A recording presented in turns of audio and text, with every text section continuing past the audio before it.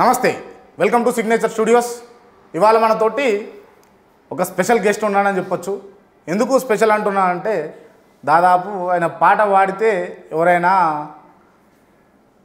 అన్న నవ్వుతుండు. వాస్తవానికి ఆయన ఏ పాట పాడినా అది ఒక కాంట్రవర్సీ అవుతుంది. అటువంటి వ్యక్తే మన ముందున్నాడు. ఆయన ఎవరో కాదు సుక్క రామనర్సే అన్న నమస్తే. నమస్తే అన్న. ఎట్లు రే మంచిగా ఉన్నాను మీరు ఎట్లా? మంచిగా ఉన్నాను అన్న సుక్క రామ్ నరసయ్య అంటే పేరేమో పాతగా ఉన్నది మనిషి ఏమో యోగ నీళ్ళు ఎక్కువ ఉన్నావు ఏంది కథ? ఇది నాయన పెట్టిన పేరు కదా. పేరు అనేది మనిషిని గుర్తుపట్టడానికి మనిషిని పిలవడానికి పెడతారు. నాకు అట్లనే పెట్టారు ఆ. బహుశా మా ఇంటి పేరు సుక్క కాబట్టి వాళ్ళు రామ నరసయ్య అని పెట్టుకుని సుక్క రామ నరసయ్య అయింది. ఏమన్నా బాధ అనిపించింది ఎప్పుడన్నా దేనికి? పేరుకు పెద్దగా ఉంది పేరు మోటుగా ఉన్నదా లేదన్న. లేదు. ఎందుకు అనిపిస్తుంది? అమ్మ నాయన పెట్టింది కదా బాధ ఎందుకు అవుతుంది ఓకే అన్న ఈ కాంట్రవర్సీ అంటే మాటలు మాట్లాడితే కాంట్రవర్సీ అవుతుంది అని పాటలు కూడా వాడితే కాంట్రవర్సీ అవుతుంది అన్నది సుక్క రామ్ నరసయ్య చేసి చూపించింది అనుకోవచ్చా? లేదు వాస్తవాన్ని అడిగిన. అడగడం తప్పైతే కాదు కదా. అడిగే స్వేచ్ఛ అయితే ఉన్నది కదా. అందులో భాగంగానే అడిగిన. అంటే మీరు చూపించినటువంటి తవ్వనే కదా. ఇలా రామనరసయ్య పాట పాడుతున్నాడు అంటే నాకంటే ముందు వరుసలో క్రాంతి లాంటి వాళ్ళు ఎవరో ఒకరు ఉండాలి. లేకపోతే నాకు నేను స్వతహాగా నేను ఆకాశం నుంచి ఊజి ఓడిపడలే కదా పాట పాడుతుంది. నాకంటే ముందు తరంలో ఉన్న వాళ్ళు పాట అంటే ప్రశ్న పాట అంటే పక్కలు వేయడం కాదు పాట అంటే ప్రశ్నించడం అని మాట్లాడితే వాళ్ళు మాట్లాడుతుంటే వేదికల ముందు వాళ్ళు మాట్లాడుతుంటే కింద చినిగిపోయిన సింపుల్ బస్తాలు వేసుకొని కూర్చొని నిన్న కాబట్టి వాళ్ళు ఇలా తప్పులు చేస్తుంటే బాధ అనిపించి అడిగిన బాధతో కోపంతో కాదు. ఓకే నరసయ్య జీవితంలో మొదటగా వాడిన పాట ఏంది? చాలా పాటలు. ఫస్ట్ నేను ఎర్రజెండ పాట పాడినా. ఏ పాటని ఒకసారి పాడరు మా కోసం. ఎర్ర జెండ గుండెల్లోనే ఒరిగిన వాళ్ళురా పోరాటాల జెండానే ముద్దాడిన వాళ్ళురా. కమ్యూనిస్టు వీరులోయమ్మ పోరాటాల ధీరులోయమ్మ. ఎర్ర జెండ గుండెల్లోనే ఒరిగిన వాళ్ళురా. పోరాటాల జెండానే ముద్దాడిన వాళ్ళురా. రక్తంతో చక్రం తిప్పి జనపదార మిల్లులు నడిపి జీవితాలతో ఆటలు ఆడిన యాజమానులను ఎదురొట్టిన వాళ్ళు ఎర్ర జెండ గుండెల్లోనే ఒరిగిన వాళ్ళురా. పోరాటాల జెండానే ముద్దాడిన వాళ్ళురా. పోరాటాల జెండానే ముద్దాడిన వాళ్ళురా. ఇవ్వండి ఫస్ట్ అంటే వా నిజంగా అంటే మీరున్నటువంటి ఏరియా కావచ్చు ఎక్కువ కమ్యూనిస్ట్ భావజాలానికి సంబంధించిన ఏరియా. అవును. మీకు ఏమన్నా ఆ భావజాలం ఉంటుందా ఇప్పటికీ? మా ఫ్యామిలీ కమ్యూనిస్ట్ పార్టీ ఫ్యామిలీ మా ఫ్యామిలీ నక్సలైట్ పార్టీ ఫ్యామిలీ. మా ప్రాంతం అంతా కూడా నేను రాచకొండ గది దగ్గరలో ఉంటా కాబట్టి. రాచకొండే మా ఊరు మా ఊరే రాచకొండ అనేది కాబట్టి. ఈ రాచకొండ సంస్థానంలో పుట్టిన అక్కడ ఉన్నటువంటి Naxalite party CPI communist party. అట్లా మనం టోటల్గా అటు సైడ్ నుంచి వచ్చినాం కాబట్టి ఏమంటారు ప్రశ్నించే అనేటువంటి ప్రశ్న అనేటువంటిది నల్గొండ ఉమ్మడి నల్గొండ జిల్లా నుంచి ఎక్కువ మంది ప్రశ్నించే గొంతుకలు ఉంటారు అవును. రామ్ నరసయ్య వయసు ఎంత ఉంటుంది ఇప్పుడు? ఉంటా ముప్పై ముప్పై ఒకటి ఉంటా. ముప్పై ముప్పై ఒకటి ఉంటుంది. ముప్పై ముప్పై ఒకటి ఏళ్ళకే అంటే మీరు రాసే పదం కావచ్చు లేకపోతే అంత పరిపక్వత చెందింది అన్నదానికి ఒక కారణం ఉంటుంది కదా. ఆ కారణం ఏంది? మా పైన ఉన్నటువంటి వివక్షత నేను పుట్టినటువంటి కులం మాకు జరుగుతున్నటువంటి అవమానం మేము మోస్తున్నటువంటి భారం. ఏ సామాజిక వర్గం అన్నా మీది? నేను ఎస్సీ మాదిగా మాదిగా బిడ్డలు మీరు. నేను పుట్టినటువంటి నేపథ్యం అలాంటిది కాబట్టి అవమానం మాకు అతి దగ్గర చుట్టాం కాబట్టి ఆకలి మా ఇంటికి పచ్చతోరణం ఎప్పటికీ. అందుకోసం అనేది అలవాటు అయింది కాబట్టి అట్ట రాస్తాను. ఎందుకన్నా అంటే కొంతమంది అంటుంటారు నిజంగా కుల వివక్షత అనేది ఇప్పటికి కూడా ఉందా? ఎస్ వంద కొంద ఉన్నది. మీ ఊళ్ళో ఉన్నదా ఎందుకు ఉండదు? అంటే వివక్షత అంటే ఏ ఏ రకంగా కనబడ్డది నీకు? ఏడు దాకా ఎందుకు ఇప్పుడు? నేను ఎస్సీ మాదిగా. నేను చేసుకునేది SC మాలమ్మాయిని. Rao Narasayya CPI communist party Prajanatya మండలిలో పనిచేస్తే ఏం సుఖారాం నరసయ్య మా మాలలో పిల్లని చేసుకున్నంత మొగోని వాను అని చెప్పేసి మాట్లాడినటువంటి కమ్యూనిస్ట్ పార్టీ వాళ్ళే. కులమే లేదు సమసమాజ నిర్మాణం కోసం పనిచేయాలనేటువంటి కమ్యూనిజం అజరామరం. కానీ కమ్యూనిస్టులుగా చనామణ అవుతున్నటువంటి కొంతమంది దొంగలు వాళ్ళ మధ్యలో కులం ఉండగలేదు బయట ఉండదా? ఉంటుంది కదా ఖచ్చితంగా ఉంటుంది. ఏమనిపిస్తుంది కులం అనేది లేనప్పుడు ప్రేమ పేర సంపబడ్డారుగా మాకంటే ఎక్కువ మీకే తెలిసి ఉంటుంది ఆ విషయం పైన. అంటే నిజంగా అంటే మీరు చెప్పినటువంటి సామాజిక వర్గంలో పుట్టినందుకు ఎప్పుడైనా మీకు బాధ అనిపించింది? అసలు బాధ కాలే బాధ కాకపోతే ఎందుకు అంటే ఎందుకు బాధ కాలేదు అంటే ఈ శబ్దం అనేటువంటి డప్పు ఏదైతుందో దాన్ని సంకకేసుకొని తిరిగినాం కాబట్టి. ఆకలి కనబడ్డ అవమానం ఎదురైనా దాని ముందు ఇది ఎందుకో చిన్నగా అనిపించేది. కానీ చదివే కొద్దీ సమాజం చూసే కొద్దీ మేము నడిచే కొద్దీ మీలాంటి నాలాంటి వ్యక్తులతో మాట్లాడుతున్నటువంటి సందర్భంలో కనబడుతున్నటువంటి వ్యత్యాసాల మేరకు అనిపిస్తుంది అప్పుడప్పుడు. అరే ఏంద్రా భయ్ ఈ కులం ఏంది మతం ఏంది అసలు ఏ జీవితం? ఇవాళ సమాజంలో గోమాత్రాన్ని అమృతం అని చెప్పి తాగుతున్నటువంటి ఉత్సని అమృతం అని తాగుతున్నటువంటి సమాజంలో బతున్నాం మేము. మంచినీళ్ళు తాగిన షెడ్ అయినట్ట ఇప్పుడు ఈ మాటలు మాట్లాడుతున్నారు కదా ఇవి పెద్ద కాంట్రవర్సీ అయితే అనిపిస్తలేదా? కాంట్రవర్సీ లేదు ఉండదు అంటున్నా ఉన్నది అంటున్నాం. అంటే ఎవరి వ్యక్తిత్వం వాళ్ళకు ఉంటుంది గోమూత్రం నాణ్యత మాత్రం అంటే వాస్తవం చెప్తున్నా నేను. మూత్రం అనేది మలినమా కాదా? మలినమా కాదా? మూత్రం మలినమే కానీ గోమూత్రం అనేది. నేను ఏమంటున్నా ఉచ్చ ఏదైనా ఉచ్చే. మూత్రం తాగిన నోరు మల్లెలు రాలితే మంచినీళ్ళు తాగిన మనుషులు అంటరాని వాళ్ళుగా ఎట్లా చిత్రీకరించబడ్డారు అసలు? నేనే అంటున్నా నేను సగటు మనిషిని అంటున్నా. అది కనీసం మనిషి లెక్క చూడు జంతువు లెక్క కాకపోయినా కానీ జంతువును పూజిస్తున్న పూజించు అది నీ ఇష్టం. నేను ఎందుకు వద్దంట? నేను మనిషిని కదా. కనీసం మనిషి లెక్క చూడమని నిన్ను మన- నిన్ను మనిషి లెక్క చూడండి ఎక్కడ? రకరకాల ఇలా కులం అనేది మనిషి లెక్క ఎక్కడ చూసింది? ఎక్కడ చూసింది కులం? నువ్వు ఈ రీసెంట్గా నీకు ఒక ఒక కాడ బాధ అవుతుంది కదా అన్న?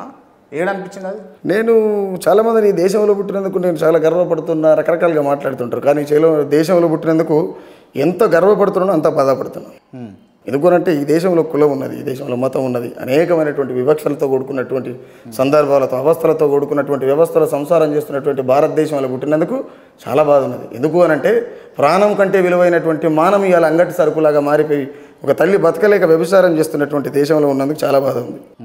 గొప్ప వీరత్వాన్ని కలిగినటువంటి భారతదేశంలో పుట్టిన పుట్టినందుకు చాలా గర్వంగా ఉంది. ఇక్కడ కులం ఉన్నందుకు వివక్షత ఉన్నందుకు రోజు దుఃఖం ఉన్నది. ఓకే. అంటే ఈ కుల నిర్మూలనకు మీరేమైనా పాట రాసిరా? రాస్తా కదా. మనుషులంతా సమానంగా బతకాలనేది నా ఫైన్ టెప్ ఒక్కసారి మా కోసం. నింగిన నెల వంక చూసింది మా వంక మది నిండా దుఃఖమే మాట్లాడేదే ఇంకా. నింగిన నెల వంక చూసింది మా వంక మది నిండా దుఃఖమే మాట్లాడేదే ఇంకా. మానవలోకాన మనిషినై పుట్టిన మనువుగల్లా కుట్ర మైలంట గట్టెనం. మైలో లేని జన్మ జగము లేడున్నదో మాట మాటకు కులము తక్కువోడంటారు. అసలు మాయి లేకుండా మనిషి పుడుతుందా భూమి మీద? మనిషిది కాదు ఏదైనా జంతువు పుడుతుందా? జంతువు కావచ్చు మనిషి కావచ్చు ఏ ప్రాణి అయినా మైలు లేకుండా ఒక జీవి నిర్మాణం అవుతుంది అనేది అది వాస్తవం అవాస్తవం అనేది ఆ చెప్పేటోళ్ళకు ఇప్పుడు మనం మాట్లాడుతుంటే ఈరేటోళ్ళకి క్లియర్గా అర్థం కావాలి. ఊరవతలికి నన్ను వెలివేసిన ఎవడు చచ్చినా డప్పై నేనొచ్చినా. అంట రానివాడని నన్ను ఎంత అన్నా నేను అందరి మేలునే కోరుకున్నా. హేళనెంత చేసిన కానీ ఓర్చుకున్న ఎంతో మమకారము గల్ల మనిషినైనా. నింగిన నెల వంక చూసింది మా వంక మది నిండా దుఃఖమే మాట్లాడదే ఇంకా. పచ్చితోలును తెచ్చి చదును చేసి చెప్పునై లోకాన్ని నడిపించిన. ఎన్నో దుఃఖాల కోర్చిన గుండెనైనా నేను గుణము గల్లా పేద బిడ్డెనైనా. దళితుడని నన్నెంత దండించినా నేను ధర్మమన దారిలో నడుస్తున్నా. నింగిన నెల వంక చూసింది మా వంక మది నిండా దుఃఖమే మాట్లాడదే ఇంకా. నిజంగానే ఈ దేశంలో అంటరానోడు అంటరానోడు అంటరానోడు అంటున్నటువంటి పదం దాని అంటే దాని స్టైల్ మారుతుంది అంతే. కులం అనేది ఏం పోదు మతం అనేది ఏం పోదు ఎవరి మతవాడు పూజించుకోవాలి ఎవరి కులవాడు చూసుకోవాలి అనేటువంటి తరహాలో ఉంటుంటుంది కాబట్టి. పుడమి పైన మొదటి కాన్పునైనా చరిత్రహీనులుగా ముద్రించేనా ముట్టుకుంటే మైల అంటూనంటూ మూతి ముద్దికి మూతి ముడ్డికి ముంత కంపేసేనా? అంటరాని బొటన వేళ్ళ సందులోన? దేశ రాజ్యాంగమును నేనే నిర్మించిన? నింగిన నెల వంక చూసింది మా వంక మది నిండా దుఃఖమే మాట్లాడేదే ఇంకా. సబ్బండ జాతుల శబ్దమైన? సబ్బండ జాతులకు శబ్దమైన? పాట నైపతి పల్లె తిరుగుతున్నా నేను సబ్బండ జాతుల శబ్దమైన? అంటే అందరితోని మమేకమై ఉంటాం మేము. అంటే అనగారిని ఒక్క మాదిగోళ్ళని కాదు. అన్నగారిని బిడ్డలు ఎవరైనా? ఎవరైనా. వాళ్ళ దగ్గర ఆస్తులు లేకపోవచ్చు అంతస్తులు లేకపోవచ్చు ప్రేమలు కావాల్సినంత పుష్కలంగా ఉంటాయి. కాబట్టి ఈ కులాలన్నీ ఏకం కావాలంటే ఫస్ట్ ఆఫ్ ఆల్ నేను రీసెంట్గా కూడా పాట చేసిన. వాదమా ఇది చూదమా ఎవని కాడే సద్దమా అటువంటి పాట చేసిన. ఎస్సీ ఎస్టీ బీసీ మైనార్టీలు అంతా ఏకమైతేనే బహుజనవాదం అంటారు కదా. మీరు ఎవరికాడ సంఘాలు పెట్టుకొని ఎవరికాడ పార్టీలు పెట్టుకుని లేకమైనట్టు ఎట్లా? ఎవరి కులం వానికే ఉన్నప్పుడు అది బహుజనవాదం ఎట్లయితుంది? అంటే ఇప్పుడు వాస్తవంగా అంటే రాజకీయ కోణంలో చూస్తే బహుజనులు బహుజన రాజ్యాధికారం రావాలని చెప్పేసి కొంతమంది కొన్ని పార్టీలు పెట్టిరు ఇప్పుడు మీరు అన్నటువంటి మాదిగ సామాజిక వర్గానికి సంబంధించి కావచ్చు మాల సామాజికానికి వర్గ మాల సామాజిక వర్గానికి సంబంధించి కావచ్చు లేకపోతే బీసీ వర్గాలకు సంబంధించి కావచ్చు. అంటే ఈ అన్ని రాజకీయ పార్టీల వల్ల బహుజన రాజ్యాధికారం వస్తుందా అసలు? లేదన్న నేను అదే చెప్తున్నా కదా. నీ కులం నీదేనా నా కులం నాదేనా? ఎవరి కులం వానికి అయినప్పుడు అది బహుజనవాదం ఎట్లయితుంది? ఈయన పెద్ద సమస్య ఉన్నది కదా. మనమంతా సబ్బండ ఇప్పుడు ఉన్న పార్టీలన్నీ కూడా రాజకీయంగా ఎవరి కాళ్ళు ఎదగని కోసమే అంటవా? అంతే కదా. అంతే కదా. మాకంటే ఎక్కువ మీకే తెలుసు ఇప్పుడు నిజంగానే బహుజన రాజ్యం కావాలనుకున్నప్పుడు ఎస్సీలు ఎస్టీలు బీసీలు మైనార్టీలు అందరూ ఒకే తాటికి రావచ్చు కదా. ఈ వాదం పేరు మీద మీరు వాదం చేస్తున్నారు. వాదం కోసం ఉద్యమం చేస్తున్నారా? ఈ వాదాన్ని ముందలేసుకొని జూదం ఆడుతున్నారా? మీ స్వార్థ స్వలాభాల కోసం జీవిస్తున్నారా అనేటువంటి క్లారిటీ వాళ్ళకు ఉండాలి. కానీ ఎవరికి కూడా క్లారిటీ లేదు. క్లారిటీ ఉంటే వాళ్ళు ఎవరు వచ్చినా సరే మాట్లాడుతుంది నేను సిద్ధంగా ఉన్నాను. మీరు ఎప్పుడు పిలిచిన మీ సిగ్నేచర్ స్టూడియో అంటే ఇప్పుడు బీఎస్పీ ఆర్ఎస్ ప్రవీణ్ కుమార్ గారు బహుజన రాజ్యాధికారం కోసం మరి పోరాడుతున్నారు కదా. అటువంటి వాళ్ళ గురించి మీరు చెప్పాలనుకుంటే ఏం చెప్తారు? నేను మాయావతి ఆదేశాల మేరకు పనిచేసేటువంటి నాయకుడు అని చెప్తాను. అంతకంటే ఎక్కువ ఏం చెప్పాను ఆయన గురించి. ఎందుకు చెప్తాను అని అంటే అనేక రకాలుగా హింసలకు గురైనటువంటి ఎస్సీ ఎస్టీ బీసీ టోటల్గా బహుజనులు అనేటోళ్ళు వివక్షతకు గురైనటువంటి బహుజనులు. పక్కోనికి అవసరాల రీత్యా మాత్రమే కనబడుతుందా వాదం అవునా కదా? నీకు అవసరం వచ్చినప్పుడే కనబడేది వాదం ఎట్లయితుంది? అది జూదం అంటారు దాన్ని. నీకు అవసర రీత్యా చేసేదాన్ని. దాంట్లో భాగంగా అనేక అంశాలు కావచ్చు. మాయావతి చెప్తే పని చేసేటువంటి వ్యక్తి ఆయన అంతే. మందకృష్ణ మాదిగా. ఆయన నేను పలా నేను ఇవాళ సిగ్నేచర్ మీడియాలో కూర్చొని స్టూడియోలో కూర్చొని నేను పలానా మాదిగా అని గల్లెగిరి చెప్పగలుగుతున్నట్టే మందకృష్ణ మాదిగా అంతవరకు చెప్పుకుంటాం మిగతాదంతా ఆయన కూడా ఆయన స్వార్థ స్వభాల స్వలాభాల కోసం పనిచేసినటువంటి హిస్టరీ. ఉంగపల్లి శ్రీనివాస్. నాకు పెద్దగా ఐడియా లేదండి ఆయన. తెల్లదా? మొత్తమే? పేరు అంతే తెలియదు విషయం ఏంటంటే నా దరిద్రం ఏంది? నేను అందరూ తెలుసు కానీ నాకు ఎవరు తెలియదు. విశారదన్ మహారాజ్. విశారదన్ మంచి ఏమంటారు? మంచి వాక్చాతుర్యం ఉన్నాడు. చరిత్రని ప్రజలకు అర్థమయ్యేటట్టు ముఖ్యంగా యువతకు అర్థమయ్యేటట్టు చెప్పే చెప్పగలిగేటువంటి వాక్చాతుర్యం ఉన్నటువంటి మనిషి. ఆర్ కృష్ణయ్య. ఆర్ కృష్ణయ్య తనకు తాను గొప్పగా ఫీల్ అయ్యేటువంటి బీసీ ముద్దు బిడ్డ ఆయన గతంలో ఉద్యమాలు అనేక ఉద్యమాలు చేశాడు కానీ ఇప్పుడు ఏ పరిస్థితిలో ఉన్నాడు అనేది తూకం వేసుకోవాల్సినటువంటి అవసరం కాబట్టి ఆ మాట ఆయన రాజ్యసభ సభ్యుడు. అయి ఉండొచ్చు. అయినా నీకు లెక్కలేదా? లెక్కలేదని ఎందుకంటాం ఆయనకేమో నెక్కర వస్తుందేమో వాళ్ళ జాతర కొరిగింది ఏమో. ఒకప్పుడు ఆర్ కృష్ణయ్య టైగర్ అనే ఆర్ కృష్ణయ్య వేరు ఇప్పుడున్న ఆర్ కృష్ణయ్య వేరు. అంతే కదా. ఓకే. నీ పదవుల కోసం ఇవాళ నీ సంఘాన్ని తాకట్టు పెట్టినాం అని కూడా అనుకోవచ్చుగా మనం. అనుకోవద్దా? అనుకోవచ్చు కదా. ఓకే. అంటే మీరు గతంలో కొంతమంది గేయ రచయితలను అంటే వాగ్గేయకారులను అంటే ఒక రకంగా వాళ్ళని క్రిటిసైజ్ చేస్తూ పాటలు రాశారు. ఎందుకు? అవసరం ఎందుకు వచ్చింది? వాళ్ళు చెప్పిన మాట మీద వాళ్ళు లేరు కాబట్టి. మేము వాళ్ళని చూసే పెరిగినాం కాబట్టి. ఒక్కసారి ఆ పాట వాడే ప్రశ్న అనేది చెప్పిందే వాళ్ళు. కొత్తగా నేనేం పుట్టుకొచ్చుకోలేదు నేను సెవెంత్ ఫెయిల్ నాకేం తెలిసి ఉంటుంది?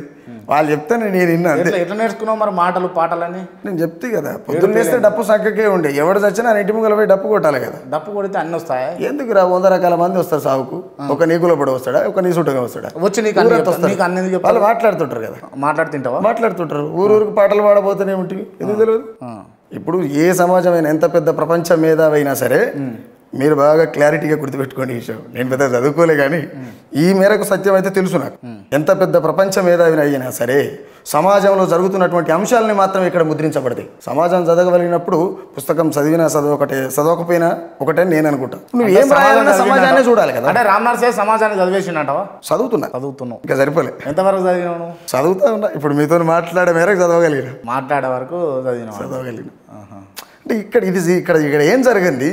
నువ్వేం రాస్తావు వల్ల ఏంది అసలు రామ్ నరసయ్య గోలేంది ఏముంటది స్వేచ్ఛతో కూడుకున్నటువంటి ఇప్పుడు రాజ్య నిర్మాణం ఇప్పుడు స్వేచ్ఛగా లేవను ఎక్కడ స్వేచ్ఛగా వచ్చినావు నీ పాటికి నువ్వు వచ్చినావు స్టూడియోలో కూర్చున్నావు ఇంటర్వ్యూ ఇవ్వగలుగుతున్నావు. నిన్న ఎవరన్నా అడ్డుకురా ఏంటిది? స్వేచ్ఛ అంటే అదా? మరి ఇంకేం కావాలి? ఇంకేం ఎక్స్పెక్ట్ చేస్తావు? నేనేమంటున్నా ఇక్కడ పుట్టినటువంటి మా అమ్మ మమ్మల జాదలేక మానాన్ని నమ్ముకుంటుంది. స్వేచ్ఛట్టున్నట్టు అంటున్నా నేను. అవస్థలతో కూడుకున్నటువంటి వ్యవస్థలో సంసారం చేస్తున్నారు భారతదేశ ప్రజలు అంటున్నా.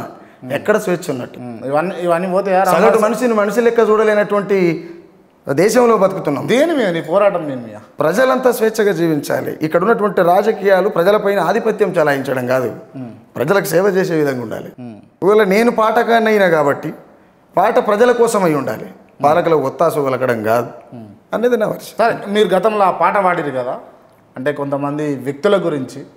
మీ తోటి కళాకారుల గురించి మీ సీనియర్ కళాకారుల గురించి అంటే? వ్యక్తులనే ఏం కాదు. అది కూడా చాలా బాధతో రాసిన. వాళ్ళ మీద నాకు ఏముంటుంది నేను వాళ్ళని చూసి పెరిగింది ఎందుకు? నీకేం బాధ అయింది? పాట గొప్పది కదా. ఇప్పుడు రామ నరసయ్య పాటని మా అమ్మలాగా భావిస్తే నేను అమ్ముతాను మా అమ్మని? పోనీ మీరు అమ్ముతారా? జర్నలిజం అమ్మలాగా అనుకుంటే అమ్మలేరు కదా. కాబట్టి పాట అమ్మతో సమానంగా పోల్చుకుంటున్నాం. నా పుట్టుకకు నేను కారణం కాదు అంటున్నా. వెరీ క్లియర్ బహుశా ఏ పుస్తకంలో ఉండదేమో నాకు తెలిసి. నా పుట్టుకకు నేను కారణం కాదు. అమ్ముడు పోతుంది నేను. ప్రశ్నించే తత్వాన్ని సంపుకొని పాటమ్మ ఊరేగుతున్నావు. దొంగ నేతల కాడ వంగి దండం పెట్టి అడక తింటున్నావు. మతిగతి తప్పేనా స్వరము శృతి తప్పేనా రాజకీయ వ్యభిచార రొంపిలో పడ్డవు ఎందుకే పాటమ్మ హేళనవుతున్నావు? గల్లి సిన్నాదైన ఘనమైన పాట పల్లె కన్నీరాగి పసందుగా ఉందాం. వేలాది కవితల నోరు పడిపోయిందా వయసు మళ్ళీ మనసు సోయిదప్పుతుందా. గాగి చన్నగిరి మల్లె ఉరి పెట్టుకున్నదా పదవి కొరకే పాట పాసి కూడైనదా. ప్రశ్నించే తత్వాన్ని సంపుకొని పాటమ్మ ఊరేగుతున్నావు. దొంగ నేతల కాడ వంగి దండం పెట్టి ఎడక తింటున్నావు. ఎవని పాలాయనని బలమంచి గడిగినవు పాటమ్మ మల్ల దొరకాడ చేరినవు. ఓటంటే తెల్లని కాగితం కాదని నోట్లు వంచే దొరల కొత్త సువలికినవు తల్లి నీ ఒడి నిండా త్యాగాల మూటేది. అది రాజకీయ రంబయి ఆట ఆడుతున్నది. ప్రశ్నించే తత్వాన్ని సంపుకొని పాటమ్మ ఊరేగుతున్నావు. దొంగ నేతల కాడ వంగి దండం పెట్టి ఎడక తింటున్నావు. ఓయమ్మ తెలంగాణ పల్లె పాట నాడు లింగమని నమ్మితే లంగా అయినాడు ధూముదాముల పేర దోసుకున్నాడు దొరల సెంత చేరి నోరు మోసుకున్నాడు. ఆ పదునైన పాటమ్మ పలసగైపోయింది జీత బత్యాలకు పడికాపుగా వస్తుంది ఈ పాట రాసిన. ఇంకా రెండు మూడు చరణాలు ఏమంటారు గుర్తులేదు. సెవెన్ ఇయర్స్ అవుతుంది పాట రాసి.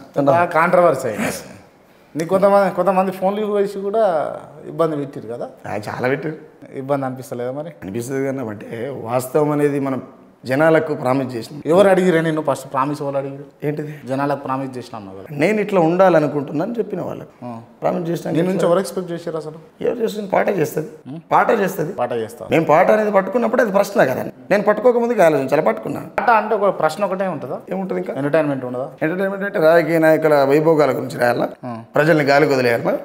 అత్యాచారాలు జరుగుతుంటే బాగా చేసిరని రాయాలా రాజకీయ నాయకుడు వాడు ఎన్ని కుంభకోణాలు చేసినా సూపర్ సార్ కేసీఆర్ అని చెప్పాలా నరేంద్ర మోడీ అద్భుతం అని చెప్పాలా పాట అంటే ఏంటిది? ఎంటర్టైన్మెంట్ ఏంటిది మీ మీ దృష్టిలో? సాటుకు చేస్తేనే సంసారం నేటుకు చేస్తే అది వ్యభిచారం అంటారు. అది జానపదం కావచ్చు ఇంకేదైనా కావచ్చు. జానపదం జనపదం అయ్యే ఉండాలి. జంగిలి పదం అయ్యి ఉంటే ఎట్లా ఇప్పుడు ఉన్నటువంటి జానపదం కావచ్చు లేకపోతే అంటే ఉద్యమ పాటలు కూడా ఏడికి పోయినాయి ఏడున్నాయి అంటే ఏం చెప్తావు నువ్వు? అని అర్థం కాలే ఒకసారి మనం మీరు అంటున్నటువంటి పాట మీరు అంటున్నటువంటి జానపదం ఇప్పుడు ఎక్కడ ఉన్నది అంటే మీరు ఏం చెప్తారు? ప్రస్తుతం పాటకు పని లేదు తెలంగాణ. ఎందుకు అని అంటే తెలంగాణ ఉద్యమం ఎప్పుడైతే రాష్ట్రం ఎప్పుడైతే సిద్ధించిందో ఎవరైతే ఈ పాటకాల దాంట్లో కూడా విచిత్రమైనటువంటి మనుషులు ఉంటారు. వాడు వాడితో కూడా నచ్చదు వాడు గొడతో కూడా నచ్చదు ఎంతసేపు ఉన్న వాడే ఉండాలి. ఇట్లా అనేకమైనటువంటి వివక్షతలు ఉంటాయి వీళ్ళకి కూడా. తెలంగాణ రాష్ట్రం వచ్చిన తర్వాత పాటకు పని లేకుంటాయి వీళ్ళు బతుకు తెరుగు కోసం జానపదం అనో లేకపోతే యూట్యూబ్ ఛానల్ అదొకటి ఇదొకటి ఏదో ఒకటి చేస్తున్నారు. నూటికి తొంభై శాతం శాతం మంది కళాకారులు అందరూ అడ్డ మీద కూలీలుగాను ఉప్పరి పనికో లేకపోతే ఇంకేదో మేస్త్రి పనికో ఇట్లా లేబర్ వర్క్ పోతున్నారు. అంటే వాళ్ళందరూ కూడా ఏదో ఒక రోజు విధ్వంసం జరిగిన చోట నూతన విప్లవం నిర్మాణం అవుతుంది అనే దిశగా మళ్ళీ పాట బయటకు వస్తుండొచ్చు అలాగనే రాదంటారా? వస్తుండొచ్చు మీరు అంటున్నట్టుగానే. వస్తుంది ఖచ్చితంగా. ఓకే. రామ్ నరసయ్య ఎజెండా అయింది అసలు? నేను సెల్ఫ్ రెస్పెక్ట్తో బతకాలనేటువంటిది బాగా నేర్పుతాం. నా ఎంట ఉండేటోళ్ళకు నా ఎమ్మటి వచ్చేటోళ్ళకు ప్రజలకు కూడా. ఎందుకు అని అంటే మనల్ని మనం మర్చిపోయినప్పుడు శవంతో సమానమే. బతికిన బతుకంత శవయాత్ర లాంటిది. ఇక్కడ నటించడం లేదు. నటించడం ఎందుకు? నటించడం కోసం ఏమన్నా ఏమ- ఏమన్నా రామ్ నరసయ్యకు రాజకీయ ఎజెండా ఉందా? అర్థం కాలేదు రామ్ నరసయ్యకి ఏమన్నా రాజకీయ ఎజెండా లేదు లేదు. అది పీతిరి కంపెనీ అనడం వస్తుందండి. నాకు రాజకీయ రాజకీయాన్ని మించినటువంటి బలమైన పదవి ఉంది కదా నాకు పాట అనేది. దాన్ని పదవిగా భావిస్తా. నిజంగా అంటే ఏ స్వార్థం లేకుండా ఒక మనిషి బయటకు వచ్చి ఇన్ని అంటే ఇబ్బందులు పడుతున్నాడు అని అంటే ఏదో ఒక స్వార్థం అయితే ఉంటుంది. నేను చనిపోయేదాకా పాట పాట పాడుతూనే ఉండాలి ఇవన్నీ చెప్తా. ఇవన్నీ రామ్ నరసన్న చెప్పుకోనీకి నేను ఇంటర్వ్యూ చేయడానికి నువ్వు ఇంటర్వ్యూలో చెప్పడానికి చాలా బాగుంటుంది. వాస్తవంగా రామ్ నరసయ్య లోపల ఏమున్నదో కావాలి నాకు. నేను చనిపోతే నాకు పేజీ కావాలి. అంతే అంతకు చేయలేదు పాటల వార్తలకు ఏమొస్తుంది? కోటి రూపాయలు ఆస్తులు చంపేస్తామా? కనీసం పిల్లల పిల్లలకు కడుపు నుండి తిండి కూడా పెట్టలేం. ఖరీదైన బట్ట కొనియలేం. కానీ ఇప్పుడున్న జనరేషన్ వేరు. రామనర్సి ఒక పాట రాస్తే లక్షల కొద్ది వ్యూస్ పోతాయి యూట్యూబ్లో. నాకు రెండు ఛానళ్ళు ఉంటాయి. నెలకి యాభై వేల రూపాయలు వస్తాయి. స్వేచ్ఛగా జీవిస్తున్నా. ఆ జీవనాధారం. యాభై వేలు నారాయణపూర్లో సరిపోదా? నేను ఇంటర్నెట్ కట్టేది ఏమన్నా లేదు కదా. యాభై వేలు సరిపోదా నాకు? అంటే ఇప్పుడున్న రాజకీయ వ్యవస్థ గురించి ఒక పాట రూపంలో చెప్పాలంటే రామ్ నరసయ్య ఏం చెప్తాడు? రాజనీతి లేని రాజకీయాలేందిరో రంగుల జెండాల రాసలీలలు చూడో రంకుమొగని తీరుబలే బొంకుతున్నరో ప్రజల గోడు చూడని పరిపాలనెందుకో? కేంద్రంపై రాష్ట్రం రాష్ట్రంపై కేంద్రం వాణ్ణి వీడు వీణ్ణి వాడు భూతు పురాణం అర్థంగాక జనాలు గందరగోళం. ఇది పరిస్థితి రాజకీయం. రామ్ నరసయ్య వ్యక్తిగతంగా ఏ పార్టీకి సపోర్ట్ చేస్తాడు? బీజేపీకి చేయడం అయితే నాకు క్లియర్ కనబడతా ఉంది? బీజేపీ చేయవు కదా? నిజంగా వాస్తవమేనా? నేనన్న మాట ఇది. నా మెడ మీద కత్తి పెట్టి కోసం చేయాలి ఎందుకు అట్లా గతగానం కషాయం? చేయ. ఒకటి ఉంటుంది రీజన్ ఒకటి ఉంటుంది. ఇప్పుడు నీకు ఇంటర్వ్యూ అంతా మంచిగా జరిగింది మంచిగా పోయినావు అని అంటే నా మీద గుడ్ ఒపీనియన్ ఉంటుంది. పోతే పోతే ఏదైనా పుల్ల పెట్టింది అనుకో నీకు. అరే ఈడేంద్ర గిట్ట అన్నాడు అని ఉంటుంది సో అదొక ఇబ్బంది అన్నట్టు నా విషయంలో. ఇప్పుడు పార్టీ పరంగా పార్టీ నచ్చలేదు అని అంటే ఒక కారణం ఉంటుంది. పార్టీ నాకు ఎందుకు నచ్చలేదు అంటే మతాన్ని ప్రేరేపిస్తూ ఈ జై శ్రీరామ్ అని జై హింద్ అని. అంటే నాకు ఇది ఎందుకు రాజకీయం రాజకీయంలాగా చేయాలి? మతంతో రాజకీయం చేయడం నచ్చలేదు ఫస్ట్ ఆఫ్ ఆల్ ఏడ చేసిందంటూ మతంతో రాజకీయం? రోజు చూస్తలేమా? ఏం చూసి రోజు చూస్తలేము? జై శ్రీరామ్ జై శ్రీరామ్ అనేది ఎందుకు అనాలి? ఎందుకు అనాలి అంటున్నా? అంటే తప్పేముంది అంట నేను. ఎందుకు అనాలి అని అంటే తప్పేముంది అంట నేను. తప్పేం లేదు. నాకు అది నచ్చలేదు. నాకు నచ్చాలి కదా. ఎందుకు నచ్చలేదు రామ్ నరసింహ అంటే నాకు నచ్చలేదు. ఏమంట ఫర్ నరసింహకు? Example for example Ram Ramnath సేయకి ఏమంటే నచ్చుతుంది? ప్రజల మేలు కోనమను ప్రజల మేలు కోరమను. భారతమాత భారతదేశం బాగుండాలి భారతదేశం వర్ధిల్లాలి అను. అందులో భాగం అనుకోవచ్చు కదా. జై శ్రీరామ్ అంటే భారతదేశం. అందులో భాగం అనుకోవచ్చు కదా. అదే భాగం అంటలేను. మీకు మంచిగా అర్థమయ్యేటట్టు క్లియర్గా ముచ్చట చెప్తా. సీతమ్మ తల్లి అనేట ఆమె నిజంగానే సుఖరావు నడిసరి అన్న తల్లి అయితే రాముడు నా అయ్య అయితే మా అమ్మ మానానికి అగ్ని ప్రవేశ ప్రవేశపెట్టినటువంటి రాముని నేనేమని పిలవాలి? మా అమ్మ మానానికి నేను పుట్టినటువంటి మానానికి అగ్ని ప్రవేశపెట్టినప్పుడు రాముని నేనేమని పిలవాలి? మీరు చెప్పండి. రాజ్యాంగ ప్రకారం చెప్తారా? గ్రంథం ప్రకారం చెప్తారా? ఏ స్టైల్లో చెప్పినా సరే ఇంట నాకు తెలిసిన మేరకే అడుగుతున్నాను ఏమని పిలవాలి? నీకేమని పిలవాలనిపిస్తుంది ఇప్పుడు? నేను అడిగిన క్వశ్చన్ నన్ను అడుగుతుంది అదే నీకేమని పిలవాలనిపిస్తుంది? నేనేమంటా నేను బాబాసాహెబ్ అంబేద్కర్ దేవుడు అంట. ఎందుకు అనంటే ఆడజాతిని అవమానపరిచినటువంటి వాడు దేవుడు అయినప్పుడు అలాంటి ఒక అణగారిన వర్గాల నుంచి వచ్చినటువంటి బిడ్డగా భారత రాజ్యాంగం రాసినటువంటి బాబాసాహెబ్ అంబేద్కర్ అణగారిన వర్గాలకు స్వేచ్ఛ స్వేచ్ఛతో కూడుకున్నటువంటి వాతావరణాన్ని కల్పించాడు కాబట్టి ఆయనను బరాబర్ ముక్తం. At the same time BJP జై శ్రీరామ్ అంటుంది జై భారత్ మాత అంటుంది జై హిందూ అంటుంది. కొన్ని కొన్ని చోట్లలో నేను వీడియోలలో చూసిన యూట్యూబ్లలో చూసిన అనేక రకాలుగా చెప్తుంటే విన్నా. జై శ్రీరామ్ అనుకుంటా మనుషులను గోసి చంపుతున్నటువంటి వీడియోలు కూడా చూసిన. మీకు కావాలంటే నేను పంపిస్తాను మీకు. పంపి ఈ వీడియోలు ప్లే చేస్తా. మ్మ్, ఖచ్చితంగా. అది సీరియస్గా చెప్తున్నాను. నేను. నా మెయిల్ ఓపెన్ చేస్తే చాలా ఉంటాయి. అంటే ఎటు ఎటున్నాం మనం? రాజకీయం ఓట్లతోని కావచ్చు ప్రజలతోని కావచ్చు మంచి పరిపాలనతో కూడుకున్నటువంటి రాజకీయం జరగాలి. మతాలతో దాంతో ఏమొస్తుంది? ఏమి రాదు కదా. నీకు నాకు మధ్య దూరం పెరుగుతుంది తప్ప ఏమీ రాదు. వాడు ఆ మతం వీడి మతం అన్నప్పుడు డివైడ్ అయినట్టే కదా. మన ఇద్దరి మధ్యలో కంచబడ్డట్టే కాబట్టి అందరం సమానం. ఈ ఈండే పుట్టినాం కదరా నాయన?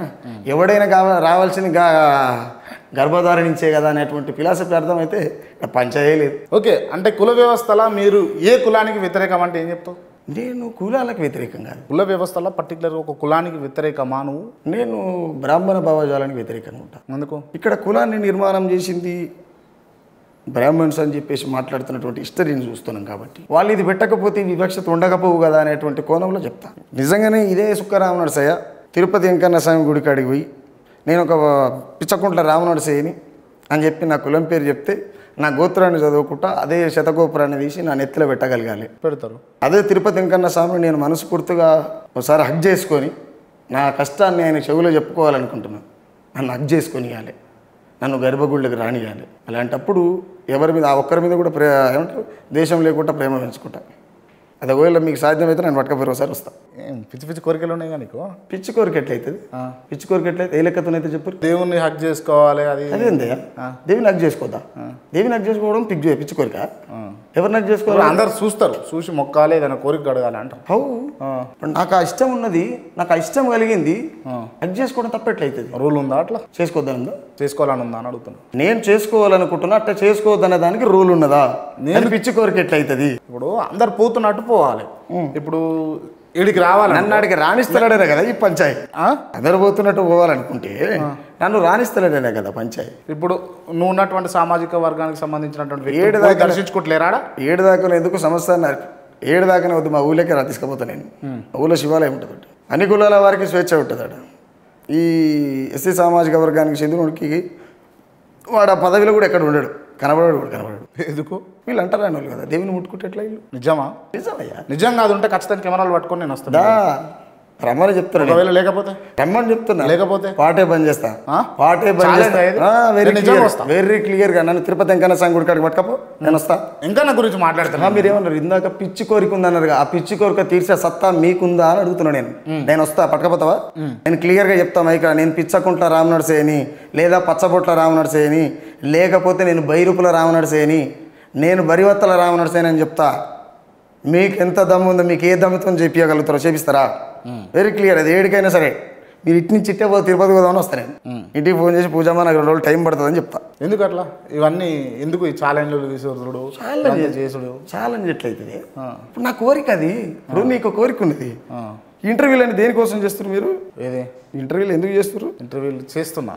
ఎందుకు? ఇది నా వృత్తి కాబట్టి చేస్తున్నా. ఎస్ కాబట్టి నేనేమంటున్నా నా వృత్తిలో భాగంగా ఈ దేశంలో నేను పుట్టినందుకు నాకు కోరిక ఉంటుంది కదా. క్రాంతి అనేటైనా మంచి జర్నలిస్ట్గా పేరు గాంచాలనేటువంటి ఆశ ఉంటుంది నీ వృత్తిలో భాగంగా. కాబట్టి నేనేమంటున్నా ఈ దేశంలో పుట్టినందుకు నేను ఒక భారతదేశ పౌరునిగా నేను ఒక దేవుడిని అడ్జస్ట్ చేసుకోవాలనుకుంటే తప్పెట్లయితుంది పెద్ద నాకు అర్థం కాదు. పిచ్చి కోరిక అంటారేనా మీరు? మంచి కోరికనే అంటావు. కాదా? అంటే హక్ చేసుకోవాలని ఏంది అని పర్టికులర్గా కనీసం నేను అక్కడికి పోవాలనుకుంటున్నా. పోతే తీసుకోవాలి తెలంగాణలో తీసుకుపోతాను. నాకు ప్రేమ ఎక్కువైతే ఏం చేస్తే? మా క్రాంతాన్ని బిర్రు అన్న థ్యాంక్స్ అన్న మంచిగా ఇంటర్వ్యూ చేసాం అంట. నేను ఏదైనా కోరిక కోరుకుంటా?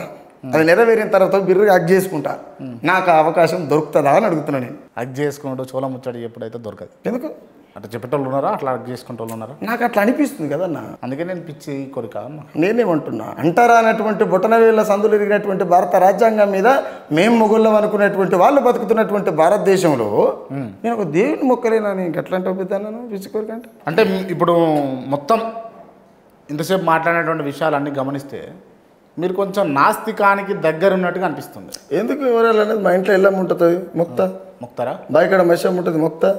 చెరువు కట్ట మీద పోషమ్మ ఉంటుంది ముక్త. ముక్త దేవుని మరి తిరుపతి వెంకన్న అంటే ఎందుకు కోపం? ఇక పొద్దు కోపం ఎందుకే? ప్రేమతోనే అడ్జస్ట్ చేసుకుంటే కోపం అంటాం వల్ల ప్రేమతోటేనా? మరి. బ్రాహ్మణ కులాలు అంటే ఎందుకు నాకు నచ్చదు అన్నట్టుగా మాట్లాడాను ఎందుకు అని అంటే నేనేమనుకుంటున్నాంటన్నా నేను కొన్ని చోట్ల ఇన్నా ఇది. ఏమనంటే ఇప్పుడు బాయికాడ మైసమ్మ ఉంటే మా ఇంట్లో ఎల్లమ్మ ఉంటే లేకపోతే ఊరికి దూరానో పో పోచమ్మనో పోలేరమ్మనో ఇట్లా రకరకాల దేవుళ్ళు ఉంటే మేము పొద్దంతా కష్టం చేసో లేకపోతే పంట మంచిగా అంతే ఇంకేదన్నా చేస్తామో అని చెప్పో రకరకాల ఏదో రకంగా ఏదో కోరికతోను. మేము కోడిని కోసుకున్నా మేమే తింటాం. ఆడ ఉండి ఉండదు మాకు. ఓకే. ఓ ఏటను కోసుకున్నా మేమే తింటాం. మాకు ఉండి ఉండదు ఆడ. ఈ ఏమంటారు? ఎల్లమ్మ మల్లమ్మ. మార్కమ్మ ఇట్లా మా దేవతలు అనేటువంటి దేవతలు ఆ, తల్లులు ఎవరైతే ఉన్నారో అక్కడ మాకు ఎలాంటి మేము పండుగ చేసుకోవాలంటే ఎలాంటి ఏం అడిగారు రిక్టేషన్స్ ఉండయి కానీ బయటకి పోయిన ఇవ్వాలి కదా. అది ఎవరికి ఇవ్వాలి నా చెమటను తీసుకొచ్చి నేను ఎక్కడో ఉండిలు వేసుకొస్తే ఎవరు తింటారు అక్కడ? అనే దానిపైన అనిపిస్తుంది నాకు అట్లా ఓకే అంటే ఇటువంటి భావజాలం వల్ల ఇటువంటి పద్ధతుల వల్ల ఇటువంటి మాటల వల్ల మీ ఫ్యామిలీ ఏమి ఇబ్బంది పడదా? పడుతుంది ఎందుకు పడదు? మరి ఎందుకు అవసరం నీకు ఇవన్నీ? ఎందుకు అవసరం అని ఎట్లా అనుకుంటామన్నా మనిషిగా పుట్టి ఏదో బువ్వ తిని పెంటగడ్డ మీద పోయి పైకాన పోయి చచ్చిపోతేట ఏదో ఒకటి చేయాలి కదా. కష్టం చేసుకొని పెళ్ళ ఒకటి చేయాలి కానీ అంత డిస్టర్బ్ చేయదు నేనేమంటున్నా మనిషి జీవితం అనేది పొద్దంతా కష్టం చేసి పొద్దుకంగా ఇక్కడ బువ్వ తిని పెళ్ళం కాడ సంసారం చేసి నలుగురు పిల్లలు కానీ మనంతా మనం చచ్చిపోతుంది కాదు. మనిషి అనేటువంటి జీవితం సార్థకత ఉండాలి. వాడు చనిపోతే వాని పేజీ ఇలా అంబేద్కర్ అనేటో అంబేద్కర్ అనే ఆ మహానుభావుని మనం ఎడ కూర్చొని మాట్లాడుకుంటున్నాం. రేపు క్రాంతి చచ్చిపోతే కూడా రేపు పలానా జర్నలిస్ట్ ఉంటారు అని చెప్పుకోవాలి నన్ను చంపుతావు అలాంటి జీవితం ఉండాలి మనిషికి. నన్ను ఎందుకు చంపుతావు మధ్యలో? ఎందుకు? నాకంటే ఎక్కువ నా కోసుకుని కూడా ఎక్కువ బతుకు? ఎక్కువ బతుకు. ఎన్ని రోజులు బతికినా ఏదో సినిమా డైలాగ్ ఉంటుంది ఎప్పుడు వచ్చినాం అనేది కాదు ఏదో బుల్లెట్ దిగింది ఏదో డైలాగ్ ఉంటుంది. మనం ఎన్ని రోజులు బతికినాం అనేది కాదు ఇక్కడ. మనం ఏం చేసినాం అనేది ఇంపార్టెంట్. ఇప్పుడు మా ఫ్యామిలీ ఇబ్బంది పడుతుంది అని అంటే మాకు నేను పెట్టేది అసలు ఇబ్బందే కాదు. కమ్యూనిస్ట్ పార్టీల నుండి మా ఎన్నో ప్రాణాలు పోగొట్టుకున్నాం కదా. ఇది ఇబ్బంది ఎట్లయితుంది? వాళ్ళు తుపాకులు ఉండి మా అన్నలు మా పెద్దనాయనలు మా కక్కేయలు మా చిన్నమ్మలు మా వదినలు మా బావలు ఇట్లా అనేక మంది చనిపోయిన రోజే తుపాకులు ఇంటి చుట్టూ ఉన్న రోజే ఫ్యామిలీ బాధపడలే. ఇవాళ నాకు తుపాకీ లేదు నా ఏమటి లేకపోతే నాకు నేనేమన్నా తీవ్రవాది కాదు టెర్రరిస్ట్ని కాదు నక్సలైట్ను కాదు. పాటలు పాడుకున్నటువంటి కామన్ మ్యాన్ నాకేమిటట్టు ఉంటుంది. ఓకే. ఉంటే ఇక్కడ రాజకీయ నాయకులు పడి పడకపోతే రకరకాలుగా మాట్లాడుతుంటారు. వాళ్ళకి సమాధానం చెప్తుంటారు ఏమైనా వచ్చినా రాజకీయ నాయకుల నుంచి ఒత్తిళ్ళు మీకు? వస్తాయి కదా. ఏ రకంగా? ఏముంటుంది? ఏం కావాలి నీకు. పాట పాట ప్రశ్నను పట్టుకుని తిరిగి అసలు ఏం కావాలి? ఎన్ని ఎవరు అడిగారు నిన్న అట్లా? ఎన్ని కావాలి? ఎవరు అడిగారు? ఎన్ని కావాలన్నట్టు కూడా అడిగిరా? అందుకు అడగరు. ఏ ఏ పార్టీ వాళ్ళు అడిగారు? పేర్లు చెప్పొద్దులే కానీ పార్టీ వాళ్ళు పేరు చెప్పరు? నీలాంటి జర్నలిస్టులతోనే అడిగిచ్చారు. నాలాంటి జర్నలిస్ట్ తోటి అడిగిచ్చారు. ఎవ- ఎవరు చెప్పారు ఇద్దరు ముగ్గురు జర్నలిస్టులు. ఎవరు అడిగారు? అన్న మీరు ఈ పార్టీకి పని చేయొచ్చు కదా. వాళ్ళు పని చేయకున్నా సరే ఏమనుకుంటుంటే సరిపోతుంది కదా. ఏ పార్టీ? ఏ ఇప్పుడు ఆ దేశంలో వంద రకాల పార్టీలు ఉన్నాయి. భయపడుతున్నావా? పార్టీ పేరు చెప్పాలంటే? ఎవరు? భయపడుతున్నది గిడచ్చని కూర్చుంటా మరి చెప్పు మరి పార్టీ పేరు చెప్పు. ఎవరు అడిగారో చెప్పు. టీఆర్ఎస్ పార్టీ కావచ్చు కాంగ్రెస్ పార్టీ కావచ్చు బీజేపీ పార్టీ కావచ్చు రాష్ట్రంలో ఉన్న పార్టీలు చాలా పార్టీలు అడిగారు. మొత్తానికి పేర్లు చెప్పినావు. ఎందుకు చెప్పా? కాకపోతే ఒకటే పార్టీ పేరు చెప్తే అడిగిన పార్టీ ఒక్కటే చెప్తే అయిపోతుండే. లేదు అన్ని. రాజగోపాల్ రెడ్డి పాట రాసిన రిలీజ్ చేయొద్దని చెప్పి మాట్లాడారు ఎంత కావాలో చెప్పని అడిగారు. మరి మంచిగా ఉంటుంది కదా అంటే ఇప్పుడు ఆర్థికంగా స్థిరపడవచ్చు ఊకుట అయిపోతుంది. మీకు సింపుల్ లాజిక్ నేను పాట మా అమ్మ అని చెప్పిన. మీరు అమ్మ అంటారా పాట మా అమ్మ అని చెప్పిన. ఫస్ట్ మళ్ళీ అదే మంచి చెప్తా పెద్దనా పాట మా అమ్మ అంటున్నా. నువ్వు అమ్మ అంటావా చెప్పు. పాటను ఎట్లా పడితే అట్లా రాసి అమ్మమ్మ అంటున్నావు ఏంటిది? ఉన్న పద్ధతులు అడుగుతుంది కదా. అమ్మ ఏం చేయాలో అదే పని చేస్తున్నది. అంటే ఒక వ్యక్తుల మీద లేకపోతే వ్యవస్థ మీద లేకపోతే ఒకరిని ఆ, చిన్నబుచ్చే ప్రయత్నం కోసమా పాట ఉన్నది? ఎవరు చిన్న పుచ్చుతున్నాం వాస్తవాన్ని అడుగుతుంది మీరు మునుగోడు ఎలక్షన్ల సందర్భంగా రాజగోపాల్ రెడ్డి గారి పైన రాసినటువంటి పాట ఆయనని కించపరిచినట్టు ఉన్నదా లేదా? కాంగ్రెస్ పార్టీ నా- నేను అడిగిన దానికి సమాధానం చెప్పండి. ఉన్నదా లేదా? చెప్తున్నా కదే కాంగ్రెస్ పార్టీ కన్నతల్లి అయినటువంటి దానికి నువ్వు గెలిచి ముప్పై రోజులు చక్కగా కాలి అప్పుడు ముండ మూసిన తల్లి అవసరం? పాట అనేది పబ్లిక్ సైడ్ బ్రదర్. పాట అనేది పబ్లిక్ ఇది నా ఏది నీ అయ్యేది నీ అమ్మది నా అమ్మది నీ తాతది నా తాతది కాదు. ప్రజల సమస్యలతో కూడుకున్నటువంటిదే పాట. ఎవరి స్వార్థం కోసం పాడుకుంటాం ఎవరి స్వార్థం కోసం వాడుకుంటాం అంటే ఎవడైనా బయటికి వెళ్ళి వస్తే పిర్రాలని వస్తాడు చింతపరలు తీసుకుని సప్పరిచ్చేది పాట. నీకేం అవసరం? అంటే ఈ సమాజంలో పుట్టినటువంటి ప్రతి పౌరునికి అనేది పట్టుకున్నటువంటి నాయకుడు కావచ్చు గాయకుడు కావచ్చు రచయిత కావచ్చు మీలాంటి జర్నలిస్ట్ కావచ్చు వీళ్ళు బాధ్యతతో కూడుకున్నటువంటి వ్యవస్థలో వర్క్ చేస్తున్నటువంటి వాళ్ళు వాళ్ళ వృత్తిని వాళ్ళు సక్రమంగా నిర్వహించాలి. మనకేం అవసరం అనేది అటువంటి ఆప్షన్ లేదు ఇక్కడ ఎందుకు అని అంటే అంటే నువ్వేం ఆశించి చేస్తున్నావు అన్న ఏంటిది? ఇక్కడ మునుగోడు అనేటువంటి ప్రాంతంలో ఈ దేశంలో బీజేపీ పార్టీ అనేది ఒక మతంతో కూడుకున్నటువంటి పార్టీ అనేటువంటి ప్రచారం. ఓకే ఆడ నీకు బీజేపీ మీద బీజేపీలో పోయింది కాబట్టి నేను నొప్పి అన్న ఒక్క నిమిషం నన్ను చెప్పనండి క్లియర్గా. ప్రచారం ఉన్నది. The same time Congress party కన్నతల్లి అయినటువంటి నీకు తెల్లారి ఎందుకు ఆమె వేరేలా కనిపించింది? ద సేమ్ టైం బీజేపీ ఎందుకు ధర్మయుద్ధంగా కనిపించింది? అసలు ప్రజల్ని డైలాగ్ ఇప్పుడు నువ్వు కన్నతల్లి అని చెప్పింది ప్రజలకే. ఇది ధర్మయుద్ధం ధర్మయుద్ధం అని చెప్పింది ప్రజలకే. అసలు మొత్తం మీద ప్రజల్ని ఏం చేయాలనుకుంటారు ప్రజల సైడ్ ఉల్టా పల్టా చేసినప్పుడే నడిచే పాట వస్తుంది లేకపోతే ఎందుకు వస్తుంది? లేకపోతే రాదు కదా పెద్దన లేకపోతే ఎందుకు రాస్తాను? నేను నిమ్మలం కాలంలో కాలేసుకుని ఉంటా. ప్రజలకేమన్నా మైనస్ జరుగుతుంది అన్నప్పుడే నా గలానికి పని చెప్తా నా గలానికి పని చెప్తా. అప్పటిదాకా ఏం చెప్పాలి నిమ్మలంగా కూర్చుంటా. ఏమన్నా పార్టీల నుంచి రామ్ నరసయ్య నువ్వు రా నీకు ఈ పదవి ఇస్తాం ఈ కార్పొరేషన్ ఇస్తాం అని ఏమన్నా వచ్చినాయా? లేదా వస్తే పోతావా? లేదా? పీతిరి గంప నేను ఎత్తుకోలేను. అర్థం కాలేవాను పీతిరి గంప నేను ఎత్తుకోలేను. పెద్దరికాన్ని నేను మొయ్యలేను అంటున్నా. పెద్దరికాన్ని మంత్రసాని అనేటాన్ని పిల్లొచ్చిన పట్టాలి పిడికొచ్చిన పట్టాలని ఒక సామెత ఉంటుంది తెలంగాణలో. కాబట్టి ఆ మంత్రసాని పదవిని నేను పోషించలేను. ఏం కావాలి అసలు నీకు? స్వేచ్ఛగా జీవించాలనుకుంటున్నాను స్వేచ్ఛ నీ ధ్యేయం అంటావా? స్వేచ్ఛగా జీవించాలి. వాస్తవాలతో కూడుకున్నటువంటి సమాజం ముందుకు పోవాలి. సమానమైనటువంటి తత్వం ఉండాలి. ఈ దోపిడీ అనేటువంటి వ్యవస్థకు గురిగా వద్దు ప్రజలు. ఏ రాజ్యమైనా ఓటుతోని ప్రజలు నిర్మాణం చేసినటువంటి రాజ్యం. అది మీకు తెలుసు నాకు తెలుసు అందరికీ తెలుసు. కాకపోతే ఏంటంటే ఏ ప్రభుత్వం అయినా వంద కొంద ఫుల్ఫిల్ చేయలేదు. కాబట్టి యాభై శాతం మేర కన్నా చేయగలగాలి. ఇప్పుడు యాభై అప్పుడు యాభై చేసుకుని కొంత మేరకు మారుతుంటుంది కదా. ఆ మార్పు జరగాలనేది మన ఆలోచన. ఓకే. ఈ కుల వ్యవస్థ గురించి కావచ్చు లేకపోతే మతతత్వం గురించి కావచ్చు మీరు రాసిన పాట ఏమన్నా ఉన్నదా? చేస్తున్నా. నెక్స్ట్ ఒక పాట ఏంది భారతదేశంలో పుట్టుడునే చేసిన తప్ప మనిషిని మనిషిగా చూడని మతాలది ఉన్నది గొప్ప. నేను జంతువై జన్మించిన ఈ జగవే నా కాళ్ళు మొక్కును. నేను బండరాయినయినా భగవంతుడాని పూజిద్దురు. భారతదేశంలో మనువాదం అంతులేని కుల గజ్జిమయం శదలకు పుట్టిన పుట్టకు పూజలు నేల పాలాయ పాలదారలు. ఆవు మూత్రమే అమృతం అంటూ ఉత్సకు దోసిలి జాపే కొందరు. మైల పట్టిన జాతులు నీటిని ముట్టినా పాపమేనని కర్కశంగా నరికి సంపుతూ కత్తుల దాహం తీర్చుతున్నారు. నెక్స్ట్ ఒక వన్ మంత్లో చేస్తుంది. ఆడియో అయిపోయింది వీడియో జరుగుతుంది. అంటే మీ ఓన్ ఛానల్ ఉన్నది నీ ఛానల్ సురానా అనే యూట్యూబ్ ఛానల్ ఒకసారి మళ్ళీ చెప్పాను? సురానా. అంటే ఏందో? Sukkaram Narsaiah. Sukkaram short short cut పెట్టినా? ఎందుకు మొత్తం ఫుల్ పేరు ఫుల్ పేరు పెట్టపోయినావు? ఒక పెద్దన్న ఆయన పేరు కూడా క్రాంతినే. ఆయన జర్నలిస్ట్ కరామ్ నర్సే అఫీషియల్ అని ఆల్రెడీ ఛానల్ ఉంది కదన్న. ఇంకో ఛానల్ ఏమన్నా అల్టిమేట్ పెట్టుకోవాలనుకుంటే సురాన్ అని పెట్టు సురానా అనేటువంటి దాని అర్థం వేరే ఉన్నది. సురానా అనేటువంటి మూడు అక్షరాలు పెడితే క్రియేటివిటీ అని ప్రశ్నించే తత్వం అని అంటే ఏమంటారు ధైర్యవంతుడని దానికి కొన్ని అర్థాలు ఉన్నాయి అన్న తెలుగులో. అది పెట్టు అని చెప్పి క్రాంతన్న అని ఆయన చెప్పిండే మంచిగా నడుస్తుంది ఛానల్. మంచిగా నడుస్తుంది. సుక్కరామ్ నర్సే బతుకు ఉద్దరు కోసం ఏం చేస్తున్నావు పాటలే రాస్తా యూట్యూబ్ ఉంది కదా నాకు. అదొకటే ఏమన్నా బొమ్మలు ఏమంటే బొమ్మలు వేస్తా ఆర్ట్ వర్క్ చేస్తా. ఓకే ఆ కళ కూడా ఉందా? ఆర్ట్ వర్క్ చేస్తా. ఇట్నే ఎవరన్నా డ్రైవింగ్ ఇవ్వమంటే లోకల్ కిరాయిలు ఉంటే కారు తోలుతా. ఆల్మోస్ట్ అన్ని డ్రైవింగ్ చేసినాం. లారీ మీద డీసీఎంల మీద అన్ని రకాల కిన్నర్లు చేసిన డ్రైవర్లు చేసిన కట్టెగొట్ట పోయినా ఉప్పరి పని పోయినా అడ్డ మీద ఉన్నా ఏమంటారు అమాలి పని చేసిన ఇటుక బట్టీలలో పని చేసిన అన్ని రకాల పనులు చేసిన. ట్రాక్టర్ల తట్టలు ఎత్తిన. సావుల కాడ డప్పులు కొట్టిన. ఇవాళ మీ సిగ్నేచర్ స్టూడియోకి వచ్చి పాట పాడతాడికి వచ్చిన ఇప్పటిదాకా. ఇప్పటికి కూడా డప్పు కొడతావా? కొడతా. కొడతావా? ఎందుకు అంటే డప్పు కొట్టే దాంట్లో పెబ్బవాను అర్థం కాలే. పెబ్బవాను అంటున్నాను దాంట్లో దాంట్లో లీడర్ వా అంటున్నా? ఏం అట్లే ఉండదు. అట్లా ఏముండదా అంటే నాకు అంటే మా వాళ్ళు అందరూ ఉంటారు కదా. నేను ఎప్పుడు చూడు బయట బయట బయట బయట అక్కడికనే ఉంటాయి కదా. మన ఏరియాకి ఎవరైనా చనిపోతే ఇక మా వంతు లాంటిది ఏదైనా వస్తే తమ్ముడు ఉంటాడు ఇంటికాడ. ఆయన ఇప్పుడు ఎల్ఎల్బీ చేస్తుండు. ఆయన పోతాడు లేదో వాళ్ళు నేను అందుబాటులో ఉంటే నేను పోతాడు పుడతాను రామర్స్ అన్న అన్న.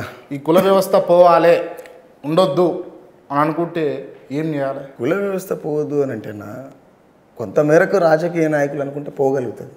ఇది వెరీ క్లియర్ ఎందుకు పోగలుగుతుంది అనుకుంటే ఓట్లేసేంత వరకు ప్రజలు ఓట్లేసిన తర్వాత ప్రజల్ని శాసించేటువంటి రాజకీయాలు. నాకంటే ఎక్కువ మీకు తెలిసి ఉంటుంది బాగా. ఎందుకు అని అంటే మీరు చదువుకున్న వాళ్ళు కాబట్టి. ఆ రాజ్యం అనుకుంటే ఏమైనా చేయగలుగుతుంది కదా. రాజ్యం బలమైందని చెప్పి మనమే మాట్లాడుకుంటున్నాం కదా. ఇప్పుడు ఫర్ ఎగ్జాంపుల్ క్రాంతన్న వేరే అమ్మాయిని ప్రేమించి పెళ్ళి చేసుకోండి లేకపోతే రామ్ నరసయ్య ఇంకో పిల్లగాడు ఇంకో కూడా చేసుకున్నాడు మొత్తం మీద అనుకుంటే వాళ్ళకు భద్రత కల్పించి వాళ్ళని జీవించే దిశగా వాళ్ళకు వనరులు కల్పించగలిగితే కొంత మేరకు మార్పు జరుగుతుందేమో అనేటువంటి ఆలోచన. ద సేమ్ టైం ఏమనంటే ఒక తండ్రి తన బిడ్డ పరాయి కులస్తుని చేసుకున్నప్పుడు నిజంగానే ఆ తల్లి కడుపులో ఒక పిండం పెరుగుతున్నప్పుడు ఈ తండ్రి పరువత్తి అనుకుని ఆ చేసుకున్నటువంటి అబ్బాయిని చంపేస్తే ఆ తండ్రి ముందు ఆ బిడ్డ బొట్టు గాజులు పూలు లేకుండా ఎందుకంటే మన త- సాంప్రదాయం ఉంటుంది కదా తన బిడ్డ తాను కడుపులో పెరుగుతున్నటువంటి బిడ్డకు తండ్రి ఎవరో తెలియకుండా తను కన్న బిడ్డ విధవరాలుగా కూర్చుంటే తండ్రి కంటే ఎక్కువ బాధ ఎవరన్నా పడతారన్న నువ్వు నేను చేసే బాధపడతావు అంతే. కానీ కనిప కనిపించినటువంటి తండ్రి నా కళ్ళ ముంగలే నా బిడ్డ విధవరాలైందని ఎంత శోకంతో ఉంటాడు ఆయన తలాపన దీపం పెట్టేదాకా మనాదిలా బాధపోదు. కాబట్టి ఇవాళ పరువు హత్యగా మారినటువంటి కులం హత్యలు ఈ ప్రేమ పేరుతో జరుగుతున్నటువంటి హత్యలు ఈ కులాల వారిగా జరుగుతున్నటువంటి హత్యలన్నిటి పోవాలంటే కూడా ప్రభుత్వాలు అనుకుంటే కూడా కొంత మేరకు సాధ్యమవుతుందన్న కలిసిపోయేటువంటి సందర్భం నిర్మూలన జరగాలంటే ప్రభుత్వాలు అనుకోవాలంట. అనుకోవాలి తప్పులేదు కదన్న ఇప్పుడు రద్దులో ఉన్నటువంటి ఉరిశిక్షను అమలు చేయగలిగేటువంటి సత్తా పార్లమెంట్ సభ్యులకైతే ఉన్నది కదన్న. దాని మేరకు మార్చుకుంటే కూడా మార్చుకునేటువంటి అవకాశాలు కూడా ఉంటాయి కదా. అంటే నాకు ఈ రాజ్యాంగం అంత పెద్ద ఏం తెలియదు. సాధారణంగానే మాట్లాడుతాను నేను ఏది మాట్లాడు కాబట్టి అట్లా ఉంటే బాగుంటుంది. వివక్షత లేకుండా ఉంటే బాగుంటుంది కదా అనేటువంటి ఆలోచన. ఓకే అన్న. దేవుడు ఉన్నాడా లేడా అంటే మీరు ఏమంటారు? ఉన్నాడని అంట దాంట్లో ఇళ్ళ ముందు కాబట్టి ఖచ్చితంగా ఉండని చెప్తా. అంటే ఏ ఎటువంటి మూడు కోట్ల దేవతలు ఉన్నారు అంటారు కదా? మూడు కోట్ల ముప్పై కోట్ల? అంటే నేను చూసింది అయితే మా ఇంటి ఇళ్ళ మనం చూసిన మా ఇక్కడ మశామ చూసి వాళ్ళలో చూసిన నేను ఏడికి పోలేదు ఏడికి రానియలేదు ఏడికి రానియలే ఇప్పటికి కూడా పోలే? పోలేదు. ఏడికి? మొక్కితే మంగళవారం పూట మా ఇంట్లో వెళ్ళామని మొక్తా బేస్తారం పూట పోయి బాయికాడ మశామని మొక్తా. ఊళ్ళో కూడా అడుగురు చెప్తారు. గుడికి పోలేను ఇంతవరకు. ఒక్కసారి కూడా. ఒక్కసారి మేడారం పోయిన అనుకుంటా. మేడారం. కూడా ఎట్లా ఏదో ప్రోగ్రామ్ పని మీద ఏం మొక్కడానికి ఏం పోలేదు సందర్భం కలిసి వచ్చింది పోయినా అంతే. జాజుల శ్రీనివాస్ గౌడ్ బట్టి పోయినట్టు బీసీ యాత్ర జరుగుతుంటే బీసీల వాటా ఎంత కావాలని ప్రోగ్రామ్ జరిగితే అట్లా ఉంది. సరే అంటే ఒక వ్యక్తి అణచివేతకు గురి కావడానికి గల కారణం కావచ్చు లేకపోతే కొన్ని సిచ్యువేషన్లకు ఇబ్బంది పడడం కావచ్చు లేకపోతే నార్మల్గా మనం ఒక మాట మాట్లాడాలా అంటేనే దానికి కొంచెం బాధ లేకపోతే దానికి వెనకాల అనుభవం అనేది ఉండాలి. ఖచ్చితంగా జరిగి ఉంటుంది. కదా? ఇప్పుడు రామ్ నర్సయ్య రామ్ నర్సయ్య మొత్తం అంటే ఒక రకంగా అంటే ఆ పదాల వరవడిక కావచ్చు లేకపోతే ఆ పదజాలము వాగ్దాటి కావచ్చు. ఏ విధంగా వచ్చింది? మా నాయన పెద్ద మనిషి ఊర్లే. ఆయన బాగా మాట్లాడతాడు నాకంటే బాగా మాట్లాడతాడు. సార్ పట్టుకరా. లేడన్నా ఆయన? వేల పదకొండులో చనిపోయాడు. అబ్బో సారీ. ఉంటే పట్టుకొద్దునేమో నేను ఇట్లా అంటే రామనరసేని ఇంటర్వ్యూ చేసే స్థాయికి వచ్చినట్టు బాగా సంతోషపడుతుంది తప్పకుండా ఇప్పటికి కూడా పడతాడు ఒకవేళ. ఆయన బాగా మాట్లాడతాడు. ఆహా. ఆయన పంచాయతీ మాట్లాడుతాను పోతే ఇరువరుగాలని ఇరువరుగాలని న్యాయమైన ఒప్పించగలిగేటువంటి వాక్చాతుర్యం ఉన్నాడు ఆయన. ఓహో. తప్పైన ఉన్నా కూడా ఏ నీ తప్పని చెప్పి కూడా మనం మెప్పిస్తాడు. అటువంటి తెలివి ఉన్నాడు ఆయన. ఇక తాటిత్తి పెడితే ఎత్తి తుమ్మలు తుమ్మలుస్తాడు అనే సామెత ఉంటుంది కదా. ఆయనదే నాకు వచ్చి ఉంటుంది. అంటే మీరు మాట్లాడడానికి కారణం అంటే అణచివేత బాధ నుంచి ఏమన్నా వచ్చిందా నేను మాట్లాడడానికి గల కారణం ప్రజానాట్య మండలి కారణమై ఉంటుంది. కమ్యూనిస్టు పార్టీ కారణమై ఉంటుంది. నేను చూసినటువంటి మరణాలు కారణమై ఉంటుంది. మనకు జరిగినటువంటి అవమానాలు కారణమై ఉంటుంది. రామరాజు- బతకడం కోసం నేను పడ్డటువంటి కష్టాలు అయి ఉంటుంది. అనేక వర్షాలు. రామ్ నర్సయ్య గన్ను పట్టినా ఎంత సిగలేదన్నా ఆ. అలా చూసే భాగ్యం కూడా లేదంటే? అంటే పట్టాల్సి వచ్చిన సమయంలో ఉండేనా సిచ్యువేషన్స్? ఉంటే పడదుమేమో పడదువా? ఉంటే పడదుమేమో అంటే ఇంకోటి ఏందనంటే మనకు ఆల్రెడీ వన్ సైడ్ అయ్యో ప్రజలు అనేటువంటి ఆలోచన ఉన్న తర్వాత నేనేమనుకుంటా అంటే ఇప్పుడు వెపన్ పట్టుకున్న తర్వాత క్రైమ్ అవుతుంది. అనేక రకాల ఇష్యూ ఫేస్ చేయాల్సి వస్తుంది. ఫేస్ చేయాల్సి వస్తుంది. నేనేమంటున్నా ఆ వెపన్ పట్టుకునే బదులు నా బుద్ధినే వెపన్ చేయగలిగితే నా ఆలోచన విధానాన్ని వెపన్ చేయగలిగితే నా పెన్నునే గన్నులాగా వాడితే నేను సమాజానికి ఇంకా చెప్పగలుగుతా కదా. కాబట్టి ఆలోచన లేదు. అంటే పెన్నును గన్నులాగా చేసి పాటను ఆయుధంగా మార్చుకోరు అనుకోవచ్చా? అనుకో. తప్పే ఉంది ఎన్ని విద్వాంసాలు సృష్టిస్తాం ఇంకా ముందు ముందు? విధ్వంసాలు అంటే? అంటే పాటతోటి ఎందరు కొంపలు కూలుస్తాం అంటున్నా ఇప్పటికి ఎంతమంది పిలిచిన కుల్చకాడికి కూల్చిన కూల్చంగా ఆఫర్ ఆఫర్లు వస్తాయా నీకు? నేనేమంటా? అడగడం తప్పు కాదు కదా. నేను అడగడం తప్పట్లయితే. నాకు స్వేచ్ఛ ఉన్నది కదా అడిగే స్వేచ్ఛ ఉన్నదా లేదు? దాని ప్రకారం అడుగుతాను నేను దానికి మించి వాళ్ళని నేను పర్సనల్గా రైట్ చేయడం లేదు. మీరు అన్నది ఏంది చేస్తున్నది ఏంది? అనేటువంటి ఫిలాసఫీ అడిగిన నేను. అంతకు మించి ఏమైనా ఎక్కువ అడిగినప్పుడు మీరు కొంపరేణి గురుస్తారని మీరు అడగొచ్చు. కానీ నేను అట్లా ఏం చేయలేదు కదన్నా. నేను ఇప్పుడు ప్రశ్నించే తత్వం పాట రాసిన నేను పాటనే అడిగిన. అలా ఆ పాటలు రాసిన వాళ్ళు ఈ పాటలు రాసిన ఎవరి పేరు చెప్పలే నేను. ఓకే. నేను పాటనే అడిగిన కదా. అమ్మా నువ్వు గొప్పదాని కదా ఇట్లెట్లయినా. చెమట సుప్పలు కాన్పు కాస్తే రూపం దాల్సినవు కదా. ఇప్పుడు సగటు మనిషి ఎవరైనా అందరికీ సాగు ఉన్నది కానీ అందరూలే సాగు నాకున్నది నా పాట కుమరణ వేడున్నదని గొప్పగా రాసుకునేటువంటి వాతావరణాన్ని కల్పించను. ఎందుకు నువ్వు ఇవాళ జీతపత్యాలకు ఇట్లా అయిపోయినావు తల్లి అనేటువంటి బా- బాధతో కూడుకున్నది. ఓకే ఫైనల్గా అన్న.